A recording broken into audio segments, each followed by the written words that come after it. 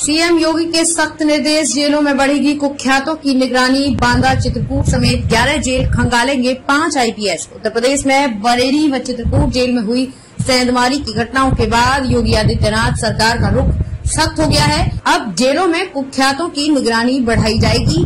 बांदा चित्रकूट समेत 11 जेलों को खंगालने के लिए पाँच आईपीएस तैनात किए गए हैं।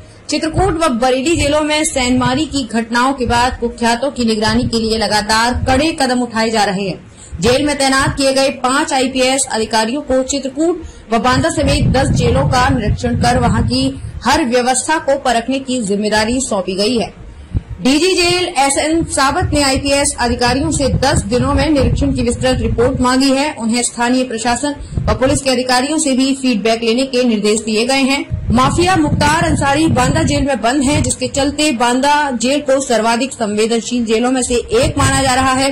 डीजी जेल ने बीते दिनों कारागार विभाग में तैनात किए गए एसपी शिवहरी मीना को जिला जेल नैनी व चित्रकूट सुभाष चंद्र शाक्य को जिला जेल जौनपुर व आजमगढ़ हिमांशु कुमार को केंद्रीय व जिला जेल वाराणसी तथा जिला जेल सोनभद्र राजेश कुमार श्रीवास्तव को जिला जेल बलिया व मऊ तथा हेमंत कुटियाल को जिला जेल फतेहपुर व बांदा के निरीक्षण का जिम्मा सौंपा है।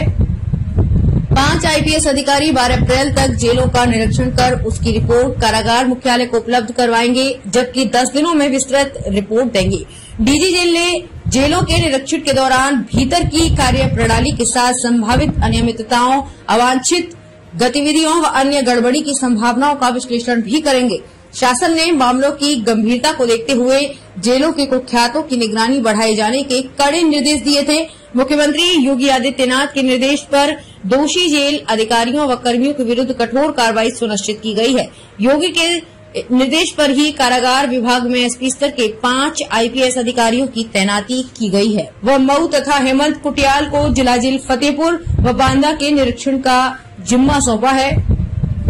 पाँच आईपीएस अधिकारी 12 अप्रैल तक जेलों का निरीक्षण कर उसकी रिपोर्ट कारागार मुख्यालय को उपलब्ध करवाएँगे, जबकि 10 दिनों में विस्तृत रिपोर्ट देंगे। डीजी जेल ने जेलों के निरीक्षण के दौरान भीतर की कार्य प्रणाली के साथ संभावित अनियमितताओं, अवांछित गतिविधियों व अन्य गड़बड़ी की संभावनाओं का विश्लेषण भी करेंगे।